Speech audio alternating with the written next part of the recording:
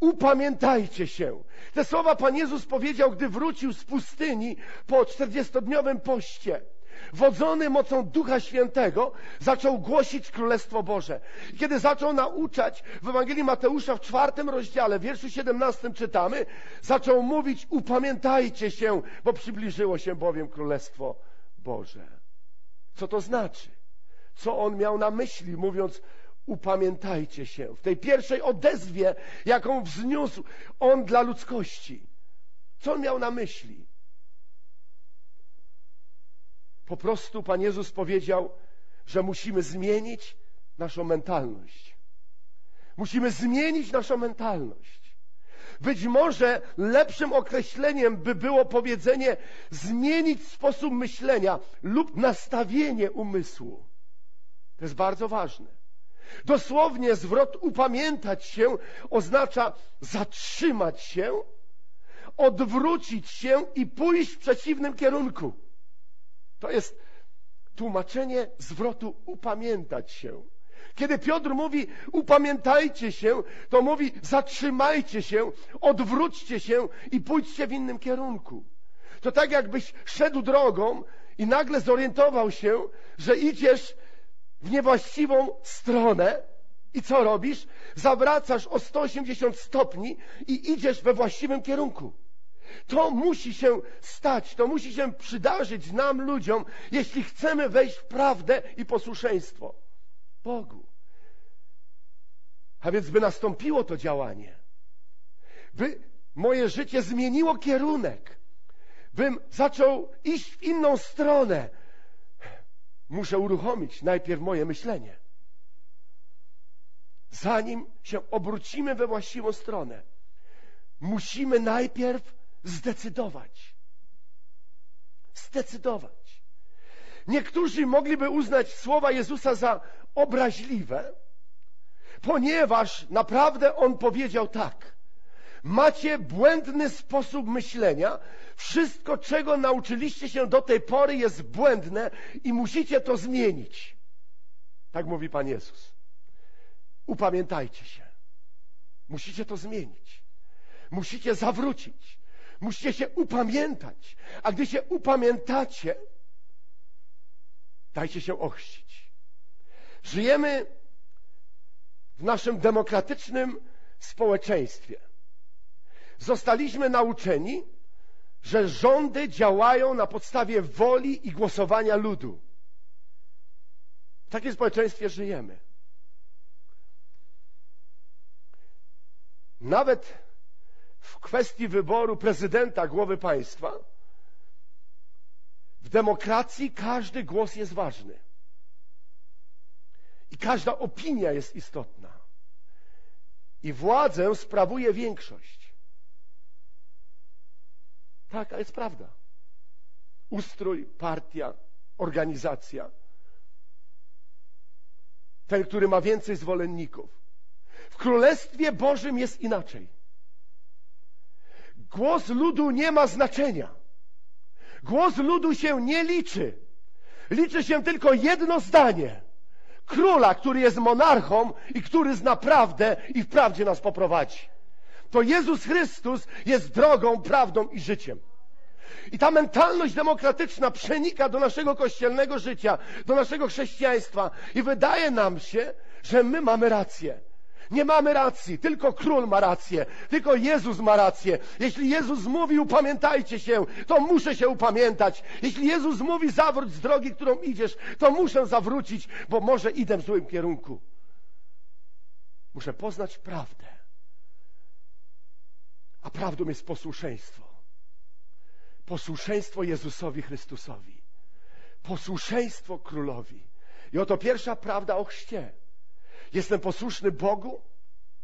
Poznałem króla Jezusa Chrystusa. Byłem mu posłuszny i oddałem mu moje serce. Upamiętałem się, zmieniło się moje życie. Szedłem w tym kierunku.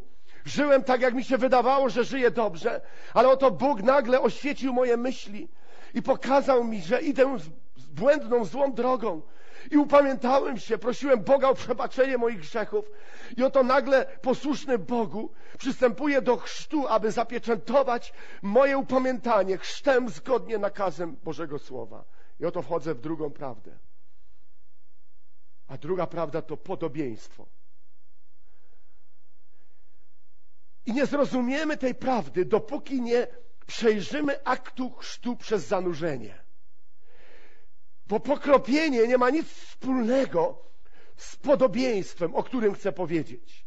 Dlatego, że chrzest jest upodabnianiem się w Jezusa Chrystusa, w Jego śmierć i zmartwychwstanie. I tak napisał apostoł Paweł, największy autorytet Bożego Słowa.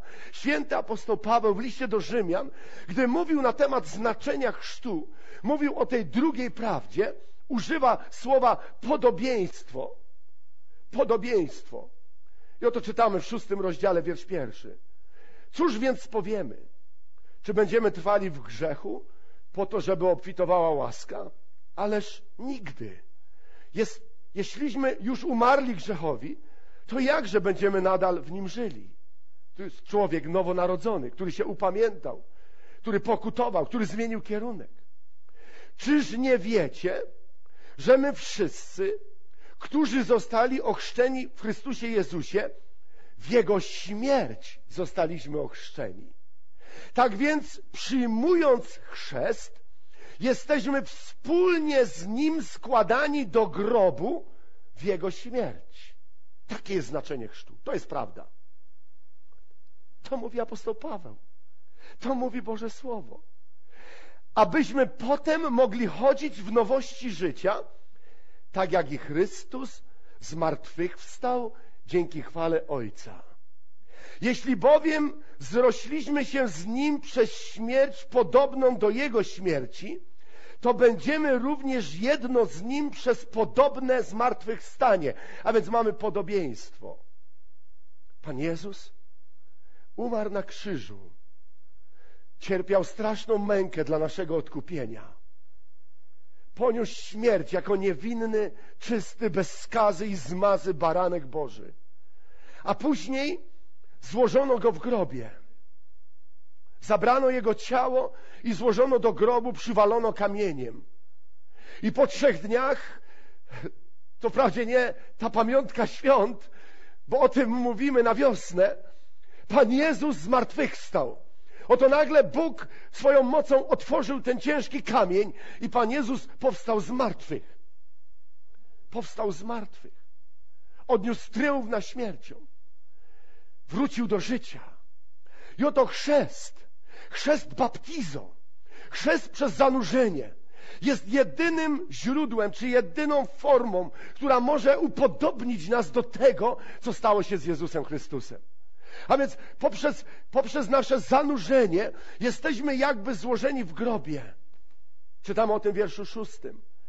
To zaś, abyście wiedzieli, że nasz stary człowiek wspólnie z nim został ukrzyżowany, po to, aby uległa zniszczeniu grzeszność ciała i żebyśmy już nie byli w niewoli grzechu. Ten bowiem, kto umarł, jest wolny od grzechu, ponieważ zaś współumarliśmy z Chrystusem, wierzymy, że i z Chrystusem również żyć będziemy. Wierzymy również, że i z Chrystusem żyć będziemy. A więc utożsamiamy się z Chrystusem w Jego śmierć, pogrzeb i zmartwychwstanie. Dlatego jest baptizo. Dlatego jest zanurzenie w basenie. Dlatego jest to utożsamienie się z Jezusem, oddając Mu swoje życie. A później wchodzimy do wody, aby utożsamić się z Jego pogrzebem. I każda osoba, która została zanurzona, została jakby pogrzebana. I poprzez wynurzenie wchodzimy w podobieństwo Jego zmartwychwstania. Halleluja. Abyśmy mogli nowe życie prowadzić. Podobieństwo. W liście do Galacjan 3:27 czytamy: Wszyscy bowiem zostaliście ochrzczeni, aby wejść w jedność z Chrystusem i przyobleć się niejako w Chrystusa. Więc osoby, które zostały ochrzczone, wchodzą w jedność z Chrystusem.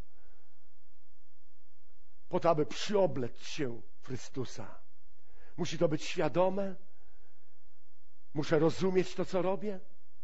Muszę uczynić to z własnej woli. Nie z przymusu. Pozbawiony swojej woli. Jak malutkie dziecko, które nie może zareagować i które jest brane, jest niesione, aby dokonano aktu pokropienia, czyli chrztu, niepełnego chrztu i wpisane w księgi Kościoła jako nasza własność. Bo taki był tego cel. Bóg dał człowiekowi wolną wolę. Może wybrać, może zdecydować. Bóg chce, abyśmy podjęli decyzję, czy chcemy należeć do Chrystusa, czy nie. Czy chcemy mieć życie wieczne, czy nie chcemy mieć życia wiecznego. Czy pragniemy pojednać się z Bogiem, czy nie pragniemy pojednać się z Bogiem. I oto świadomi tego, że zostaliśmy zbawieni, jesteśmy chrzczeni przez chrzest, który wymyślił sam Bóg.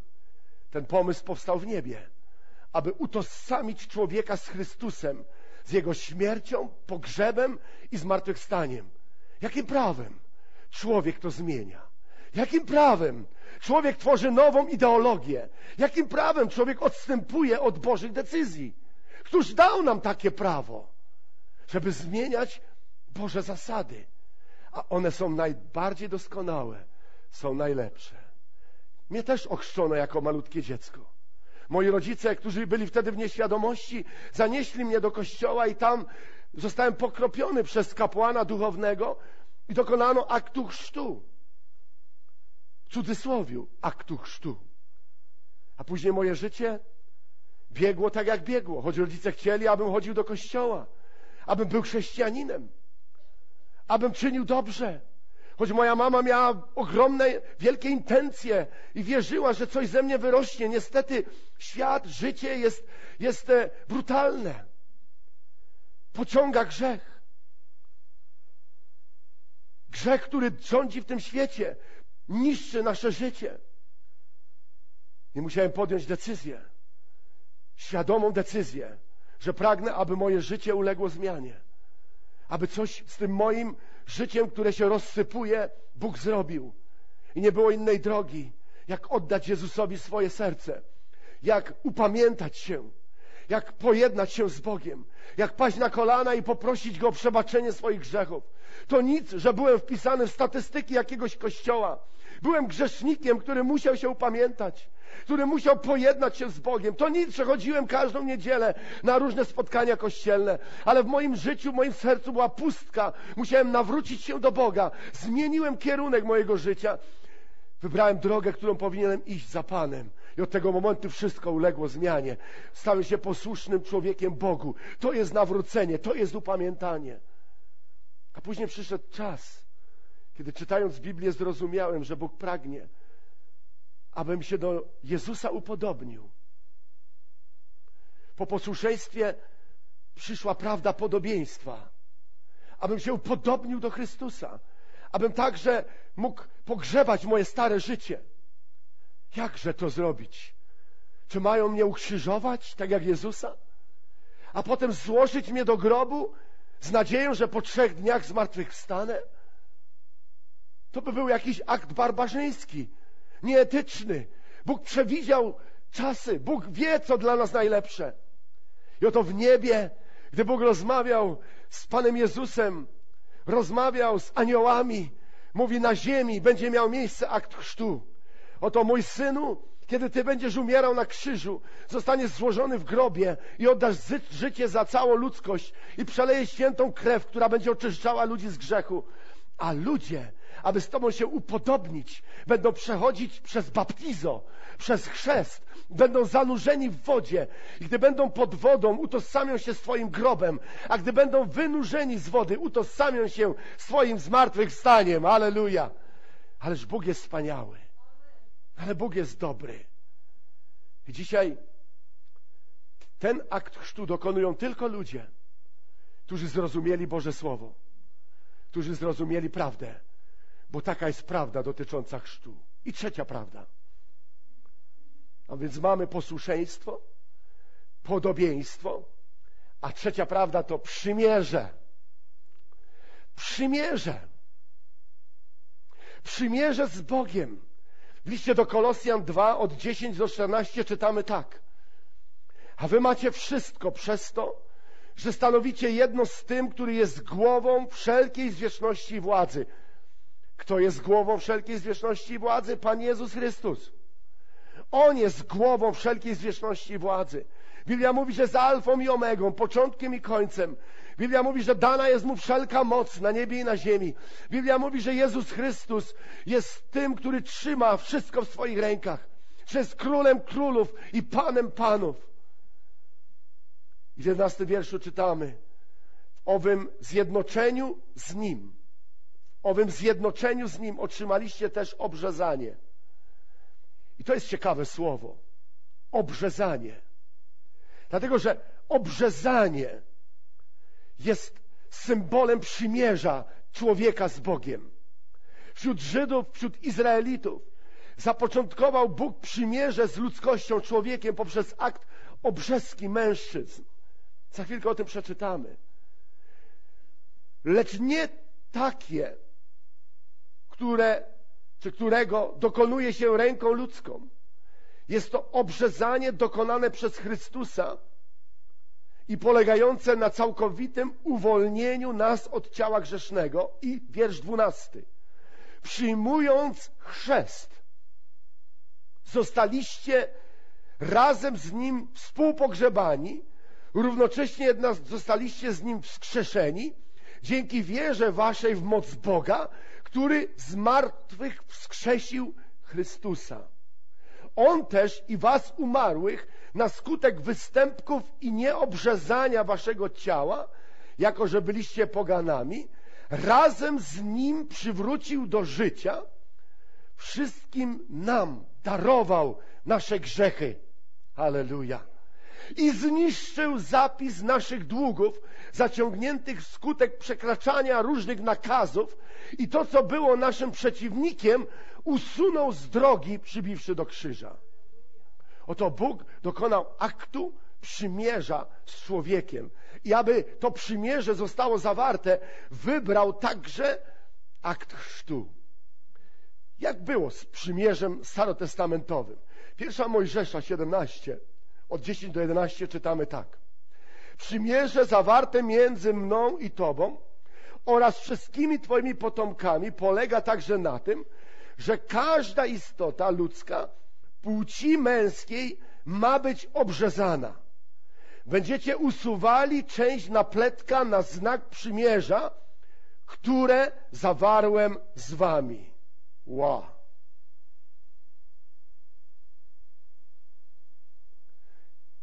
To był znak przymierza.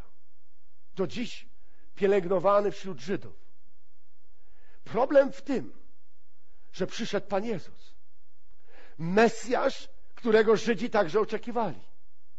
Ale nie pasował im on w swojej formie życia, służby, czynów. I tak jak Boże Słowo mówi, naród wybrany, Izraelici, odrzucili Mesjasza. Do swoich przyszedł, ale swoi go nie przyjęli. Nie miał nawet gdzie głowy skłonić. Nie było miejsca w gospodzie, aby jego matka dała mu życie. Czy wiecie, że to, co wydarzyło się, narodzenie Pana Jezusa Chrystusa, było niesamowitym historycznym wydarzeniem? To wydarzenie zmieniło ludzkość. Ale czy wiecie także, że dzisiaj są kościoły chrześcijańskie, które próbują to wszystko obalić? Byłem zaszokowany, kiedy czytałem ostatnio oświadczenie jednego z biskupów kościoła anglikańskiego, który chce udowodnić, że Jezus, że Jezus jest życiem stworzonym przez Józefa. I udowadnia, że jest to niemożliwe. Że jest to niemożliwe, żeby kobieta poczęła bez woli mężczyzny. Że jest to niemożliwe. Dlatego gdzieś tam w Nowej Zelandii namalowano obraz Józefa z Marią w łóżku. Jako para. Świat będzie próbował zniszczyć całe dzieło Boże. całą prawdę. Będzie próbował usunąć to, co naprawdę miało miejsce, bo to był cud.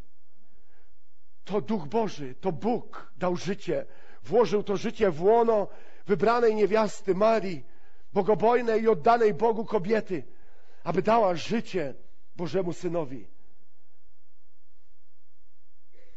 To było największe wydarzenie. I z tym wydarzeniem Bóg zapoczątkował nowy czas, że zmiłował się i ulitował się nad każdym człowiekiem. Dzisiaj Bóg nie ma względu na osobę. W Starym Testamencie pierwsze skrzypce grali mężczyźni. Ja wiem, że dziś niektórym się to ciągle podoba. Chcieliby, aby oni tylko mieli społeczność z Panem Bogiem, a kobieta, aby była tą służebną częścią. Ale Pan Bóg to zmienił. Nie mam względu na osobę, ani na mężczyznę, ani na kobietę, ani na niewolnika, ani na wolnego, ani na Żyda, ani na Greka. Wszyscy przede mną są równi. Wszystkich jednakowo ukochałem. I teraz Pan Bóg musiał pomyśleć, jak teraz z tymi wszystkimi przymierze zawrzeć. No bo w Starym Testamencie było łatwiej mężczyzna, przymierze, usunięcie napletka, cięcie, znak przymierza i oto przymierze było zawarte z mężczyzną, który był głową rodziny i Bóg poprzez męża, poprzez mężczyznę mówił do rodziny, opiekował się tą rodziną. Ale dzisiaj każdy z nas indywidualnie ma społeczność z Bogiem przez Jezusa Chrystusa. I oto znów Pan Bóg pomyślał i powiedział: posłuszeństwo, podobieństwo i niech będzie także przymierze. Niech w tym samym czasie, kiedy będzie dokonywany akt chrztu, niech także, niech także będzie dokonane przymierze między człowiekiem a Bogiem. Czy wiecie, co znaczy słowo przymierze? Gdy przygotowywałem to rozważanie, mówię, muszę sprawdzić w słowniku języka polskiego. Przymierze. Co znaczy słowo przymierze? I takie zdanie przeczytałem. Ugoda między stronami polegająca na wzajemnej współpracy dla osiągnięcia określonego wspólnego celu. To jest przymierze. Przymierze człowieka z Bogiem jest to ugoda między Bogiem a człowiekiem, polegająca na osiągnięciu wspólnego celu, a tym wspólnym celem jest życie wieczne dla człowieka, jest Jego zbawienie, jest Jego ochrona, jest błogosławieństwo, które Bóg nam obiecał w codziennym życiu tu na ziemi, a także w wieczności po naszej śmierci. Przymierze człowieka z Bogiem. Dlatego tak bardzo Boga kochamy. Dlatego wiemy, kim On jest dla nas, jakie On ma znaczenie. Dlatego, że zawarliśmy z Nim przymierze. Dlatego, że zawarliście dzisiaj z Nim przymierze. Przymierze człowieka z Bogiem. Ugoda między Tobą a Panem przez Jezusa Chrystusa, polegająca na wzajemnej współpracy. Oto Bóg pragnie, pragnie nam błogosławić. On pragnie, abyśmy żyli z Nim. On pragnie, abyśmy słuchali Jego głosu. On pragnie, abyśmy mieli z Nim społeczność. On pragnie, abyśmy pytali Go o zdanie, nim podejmiemy decyzję. On pragnie, abyśmy czytali Jego Słowo. On pragnie, abyśmy kochali Go całym naszym sercem. A On będzie się nam odwzajemniał tym, co On nam obiecał. Będzie chronił nas, będzie nam błogosławił, będzie się o nas troszczył, będzie uzdrawiał nasze choroby, będzie pocieszał nasze serca, będzie pomagał nam w codziennym życiu i będziemy pod Jego ochroną i opieką, bo Bóg gwarantuje nam swoje błogosławieństwo. Ugoda. Ugoda. Jest tylko jedna rzecz, która nas różni. I niestety w tej jednej rzeczy ludzie podejmują decyzję, aby być takimi samymi jak Bóg. A więc jestem tak jak Bóg, bo się nie zmieniam.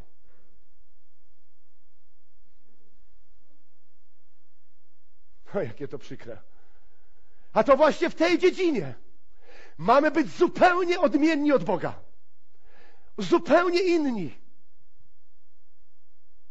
Bo jedynie Bóg jest niezmienny, a ja mam się zmieniać każdego dnia. A ja mam wchodzić w społeczność z Nim głębiej i głębiej każdego dnia. A ja mam Go jeszcze bardziej kochać niż kochałem Go wczoraj. A ja mam jeszcze mocniej Mu służyć niż służyłem wczoraj. A ja mam wieść jeszcze bardziej czyste, bogobojne życie przed Nim niż wiodłem wczoraj. Bo to się Bogu podoba. Bo wszedłem w przymierze z Nim. I na koniec list do Hebrajczyków. Ósmy rozdział.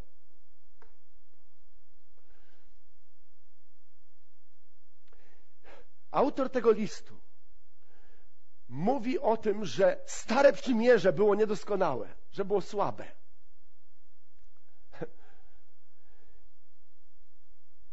I czytamy tak: gdyby owo pierwsze przymierze było w pełni doskonałe, nie byłoby potrzeba zastępować go drugim. Nie byłoby potrzeba. Ale to pierwsze przymierze to cięcie między Bogiem a mężczyzną nie było doskonałe, nie było perfekcyjne. Pan Bóg rozbudował, zmienił, udoskonalił swoje przymierze z człowiekiem. I dalej czytamy, tymczasem Bóg, karcąc swój lud, zapowiada, bo ludzie łamali przymierze z Nim. Nie byli Mu posłuszni w tym przymierzu. Oto nadchodzą dni, mówi Pan, kiedy to zawrę nowe przymierze z moim domem. Będzie to przymierze inne niż tamto, które zawarłem z ich ojcami. W dniu, kiedy to ująwszy ich za rękę, wyprowadziłem wszystkich z ziemi egipskiej, ponieważ jednak oni nie wytrwali w moim przymierzu, wobec tego ja również nie troszczyłem się więcej o nich, mówi Pan, bo przymierze to ugoda między dwoma stronami, a oni nie wytrwali w tym przymierzu. Więc ja również nie troszczyłem się o nich, mówi Pan.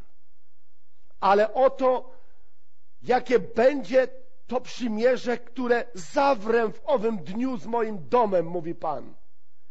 Prawem moim wypełnię ich myśli. Oto Bóg włoży swoje słowo w nasze myśli, wkłada je w nasze serce. Wypiszę ich na ich sercach. Ja będę ich Bogiem, a oni będą moim ludem. A więc przez Jezusa Chrystusa połączyliśmy się z Bogiem. Oto teraz moje życie należy do Niego, a On należy do mnie. Oto jesteśmy jedno z Bogiem. Bóg nie jest już daleko ode mnie i od Ciebie.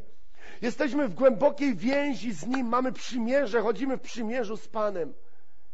I gdy chodzimy w tym przymierzu z Bogiem, On troszczy się o nas, a my troszczymy się o Niego. Hmm. W naszym życiu tak jak wody, powietrza i chleba. Potrzebuję Boga na co dzień. Potrzebuję Pana na co dzień. Jego miłości, Jego mocy, Jego życia. Jest ugoda między nami. Przymierze, abyśmy osiągnęli wyznaczone cele. Idziemy razem przez życie nie jestem już sam, gdy dotykają mnie trudności. Nie jestem sam, gdy zaczynam chorować. Nie jestem sam, gdy przychodzą ciężkie dni i szaleje burza. Mój Pan jest ze mną. Jesteśmy w przymierzu. Idziemy razem. Troszczymy się o siebie. Ja pragnę Go więcej, a On pragnie mnie więcej. Jesteśmy należącymi do siebie na zawsze, bo mamy przymierze. Halleluja. Trzy prawdy dotyczące chrztu. Posłuszeństwo, podobieństwo i przymierze. Jakże można zlekceważyć tak mocne przesłanie, które jest zapisane w tej księdze. Wszystkie wersety były wypisane, wyjęte z Pisma Świętego. One mówią prawdę o chrzcie, całą prawdę oby każdy z nas tak traktował chrzest. Nieważne, czy on miał miejsce 20 lat temu, czy miał miejsce dzisiaj. To jest akt posłuszeństwa Bogu, podobieństwa i przymierza. Powstańmy, aby podziękować Panu za chrzest, za przymierze. A jeśli takowego z Bogiem nie zawarłeś, pomyśl dziś o Bogu, pomyśl dziś, teraz o Nim. Zastanów się nad swoim życiem. W którym miejscu jest Bóg w Twoim życiu? Czy tak jak w przypadku większości wielu, wielu ludzi, których pyta się od czasu do czasu, media robią taką analizę i pytają, kto dla ciebie jest największym autorytetem.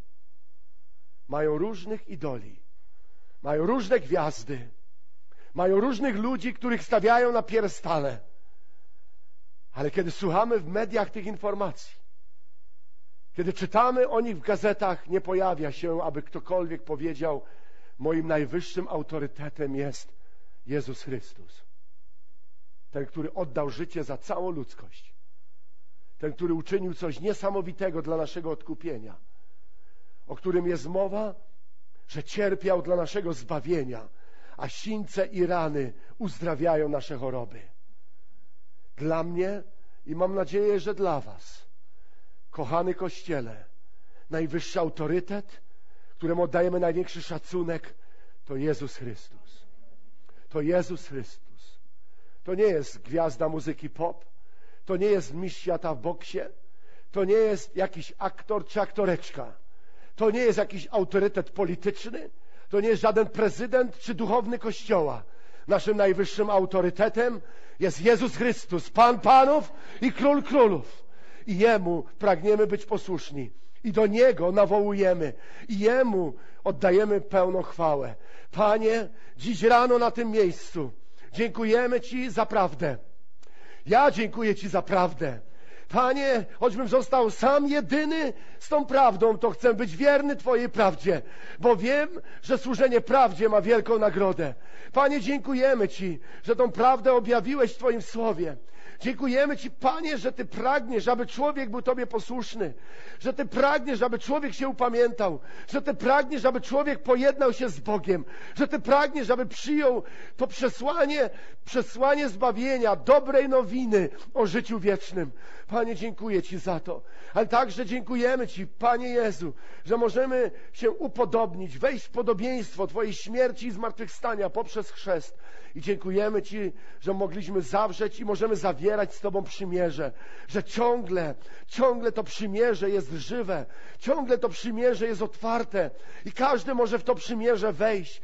Panie, tą ugodę między Tobą a nami, między Tobą a mną, abyśmy wspólnie razem, idąc przez życie, mogli osiągać wyznaczone cele.